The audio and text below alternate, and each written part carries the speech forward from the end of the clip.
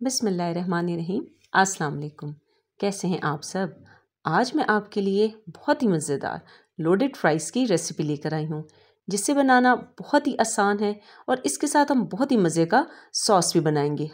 आप इसे loaded fries या पिज़्ज़ा फ्राइज़ भी कह सकते हैं। बाज़ार से बहुत ज़्यादा अच्छी बन के तैयार होती हैं। किसी भी रेस्टोरेंट में अगर आप जाकर खाएँगे तो बहुत ही कम क्वांटिटी में वो सर्व करते हैं। अब से आप इसे घर में बनाइए, ढेर सारा बनाइए और इसे इंजॉय कीजिए। बहुत ज़बरदस्त सी और चीज़ी सी बन के ये तैयार होगी। तो चलिए, टाइम ज़ाया किए बगैर अपनी रेसिपी को हम स्टार्ट करते हैं। तो रेसिपी को स्टार्ट करने के लिए सबसे पहले हमें जिस चीज़ की ज़रूरत है वो आलू। यहाँ पर मैंने तकरीबन दरमियाने साइज़ के चार अदद आलू ले लिए थे, जिन्हें मैंने धो लिया, फिर उनके जो है छिलके उतारे और उसके बाद इस तरीके से आप इसकी कटिंग कर लें। नॉर्मल साइज़ की हमने इसकी फ्राइज़ कट करने, ना बहुत ही मोटे, ना बहुत ही बारीक। इस तरीके के साथ आपने सारे आलूओं को अच्छे तरीके के साथ काट लेना है। यहाँ पर जो हमारे पास चार अदद आलू थे, उन्हें मैंने सारा फ्राइज़ कटिंग में कट कर लिया है। अब एक अदद बाउल लिया है, उसमें नॉर्मल टैप वाटर है। वो ले लिया। उसके अंदर ये जितने सारे हम, हमने जो फ्राइज़ कट किए थे, इस बाउल में हम डाल देंगे। पहले तो इस बाउल में डाल के इन फ्राइज़ को हम अच्छे से दोबारा धोएँगे और फिर इसके बाद इसी पानी के अंदर तकरीबन पाँच मिनट के लिए इसे आप डिप कर दें। पाँच मिनट के बाद इसे हमने छलनी में डाल दिया ताकि इसका एक्सेसिव पानी जो था वो निकल गया। दस मिनट छलनी में रहने के बाद इसका सारा एक्सेसिव पानी निकल गया। तो अब एक बाउल में से निकाल लिया। उसके अंदर हमने शामिल कर दिया फ्राइज़ के ऊपर तीन टेबल स्पून लेवल तीन टेबल स्पून जितना कॉर्नफ्लोर था, वो हमने इसमें ऐड कर दिया। एक टीस्पून जितना नमक इसमें शामिल करेंगे और हाफ़ टी स्पून जितना ब्लैक पेपर इसमें हम डालेंगे। अब इन तीनों चीज़ों को हमने फ्राइज़ के ऊपर अच्छा सा कोट करना है, क्योंकि फ्राइज़ जो है वो छलनी में दस मिनट में अच्छी से खुश्क हो गई थी, अलग से इसको हमने कपड़े से या टिश्यू से साफ़ नहीं किया, खुद ही उसका एक्सेसिव पानी निकल गया था। तो अब यहाँ पर सारी कोटिंग इसके ऊपर आ गई है। अब एक कढ़ाई में ऑयल गर्म होने के लिए रख दिया। ऑयल जब मीडियम हीट पे अच्छा सा गर्म हो गया, ना बहुत ज़्यादा तेज़, ना बहुत हल्का तो अब इसके अंदर जितने फ्राइज़ हमने कोट किए थे, वो सारे डाल देंगे। एक साथ भी अगर आप डाल दें तो कोई मसला नहीं है, क्योंकि ये फ्राइज़ आपस में चिपकते नहीं हैं। लेकिन जैसे ही आप इन फ्राइज़ को डालेंगे तो दो मिनट तक कम अज़ कम आपने इनको बिल्कुल भी छेड़ना नहीं है। उससे ये होगा ना कि इसकी कोटिंग ऊपर से उतर जाएगी। दो मिनट के बाद अब हम इस तरह इसकी साइड्स को पलटेंगे। आँच को हमने मीडियम पर ही रखना है। मीडियम फ्लेम के ऊपर ही हम अपनी इन फ्राइज़ को तकरीबन चार से पाँच मिनट में रेडी कर लेंगे। बस आपने देखना है कि इनका खूबसूरत सा गोल्डन कलर आना चाहिए। बहुत ज़्यादा डार्क कलर ना वो अच्छा नहीं लगता। तो यहाँ माशाल्लाह चार से पाँच मिनट में बेहतरीन खूबसूरत सा हमारे फ्राइज़ को कलर आ चुका है।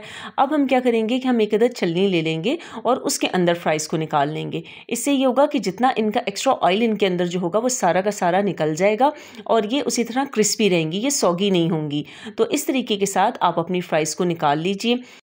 अब बनाते हैं अपनी ज़बरदस्त लोडेड फ्राइज़ का सॉस तो उसके लिए यहाँ पर मैंने एक टेबल स्पून भर के जो है बटर ले लिया है। अब जैसे ही बटर मेल्ट हुआ तो इसमें एक टेबल स्पून भर के ही मैंने मैदा ले लिया है। आँच को आपने कोशिश करना है, बिल्कुल लो रखना है, तेज़ आँच पे सॉस को बिल्कुल नहीं बनाना। एक मिनट तक हम मैदे को मक्खन में अच्छा सा भून लेंगे कि मैदे का जो कच्चापन है, वो बिल्कुल ख़त्म हो जाए। अब इसके बाद हमने क्या करना है कि एक कप जितना दूध लेना है। फ्लेम को हमने लो ही रखना है और अब हमने क्या करना है? थोड़ा थोड़ा करके दूध को शामिल करना है। एक साथ हमने दूध बिल्कुल भी नहीं डालना, वरना फ़ौरन से इसके अंदर लम्स बन जाएँगे, गुठलियाँ सी बन जाएँगी, जिन्हें फिर ख़त्म करना बहुत मुश्किल काम हो जाता है। थोड़ा थोड़ा करके दूध शामिल कीजिए विस्कर से जो है ये चम्मच की मदद से अच्छे से मिक्स कीजिए। जब अच्छा सा मिक्स हो जाए तो इसमें हाफ़ टी स्पून जितना नमक, हाफ़ टी स्पून जितना chicken powder half teaspoon जितना लहसुन का पाउडर, जो कि बहुत प्यारी खुशबू देता है, और हाफ़ टी स्पून जितना सफ़ेद मिर्च का पाउडर, और हाफ़ टी स्पून ही हमने इसमें औरिगैनो शामिल कर लिया है। अब इन सारी चीज़ों को लो फ्लेम पे अच्छे से मिक्स करेंगे। सिर्फ़ थर्टी टू फोर्टी सेकेंड इस मसाले को हम इस सॉस में मिक्स करेंगे तो ऐसा आप देख सकते हैं कि ये घनी होना शुरू हो गई है। अब हम क्या करेंगे कि एक चौथाई कप जितनी मेरे पास चीज़ ग्रेट हुई हुई थी मोजरेला चीज़ है ये मेरे पास तो हम इसके अंदर चीज़ शामिल कर देंगे। चीज़ डाल के हमने इसे बस हल्का सा मिक्स ही करना है, क्योंकि चीज़ इस गर्म सॉस के अंदर जाते ही अच्छे से मेल्ट हो जाएगी। तो यहाँ आप देख सकते हैं कि माशाल्लाह कितना ज़बरदस्त चीज़ी सा हमारा सॉस बन के तैयार हो चुका है। तो अब यहाँ पर हमारी सॉस की कंसिस्टेंसी आप देख सकते हैं, इससे ज़्यादा हमने इसको घना नहीं करना। फ्लेम ऑफ़ कर दीजिए, चूल्हे से इसे हटा दीजिए ताकि ये ठंडा हो जाए। अब यहाँ पर मेरे पास एक चिकन टिक्का पीस था, उसको मैंने इस तरह श्रेड कर लिया, उसकी ये चंक्स या पीसेज आप कह सकते हैं, ये मेरे पास आ गए हैं, तकरीबन ये भी एक डेढ़ कप के बराबर हैं। अगर आपके पास ये नहीं है, आप चिकन टेंडर पॉप्स जो होते हैं, वो भी ले सकते हैं नगेट्स आप ले सकते हैं, उनको फ्राई करके आप पीसेस में कट कर लें। अब आ गई जी असम्बलिंग की बारी तो आप कोई भी एक डिश ले लें ट्रे ले लें या बड़ी प्लेट ले लें, उसमें सबसे पहले जो हमने नीचे लेयर लगानी है, वो हमने जो हमारी फ्राइज़ थी, फ्राइज़ को हमने अच्छे से एक बेस में लगा लेना है सारी। अब उसके ऊपर आप four three two four tablespoon जितना पिज़्ज़ा सॉस डालिए, अगर नहीं है तो दो टेबल स्पून जितना केचप और दो टेबल स्पून जितना चिली गार्लिक केचप आप इसमें मिला के मिक्स कर लें और वो इसके ऊपर आप डाल दीजिए। फिर उसके बाद, अब यहाँ पर मैंने चीज़ ग्रेट की हुई थी। ये भी मेरे पास मोजरेला चीज़ है। तकरीबन आधा कप जितनी ये चीज़ है तो थोड़ी सी अभी हम इस स्टेज पे डालेंगे और बाकी हम टॉप पे डालेंगे। तो चीज़ डालने के बाद यहाँ पर जो हमने चिकन टिक्का के जो चंक्स थे मेरे पास, उनकी जो है बैलेंस करके फ्राइज़ के ऊपर अच्छी सी एक लेयर लगा लेंगे। चिकन की लेयर लगाने के बाद अब यहाँ पर जो है मैंने थोड़ी सी जो है शिमला ली थी और आधे से भी कम टमाटर लिया था और उसको मैंने चॉप कटिंग कर लिया है और वो दरमियान में थोड़ा सा हम वो डाल देंगे चॉप शिमला और टमाटर। अब इसके बाद हमने जो अपनी पिज़्ज़ा फ्राइज़ या लोडेड फ्राइज़ का जो ज़बरदस्त यमी सा सॉस बनाया था, वो हम सारा अच्छा सा इसके ऊपर पोर कर देंगे। सारा सॉस इसके ऊपर अच्छा सा डाल लेना है। अब लास्ट में जो हमारी चीज़ बच गई थी, आप इसके ऊपर चीज़ आप फैला दीजिए। चीज़ की कोई एग्जैक्ट क्वांटिटी नहीं है, जितनी आपको चीज़ पसंद है, उस हिसाब से आप चीज़ की एक लेयर लगा सकते हैं। जितना बच्चे पसंद करें तो उस अकॉर्डिंग आपने चीज़ डाल देनी है।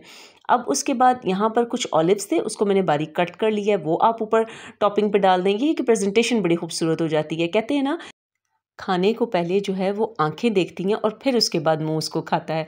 तो इसलिए देखने में अगर वो खूबसूरत होगी तो खाने में बेहद लजीज होगी।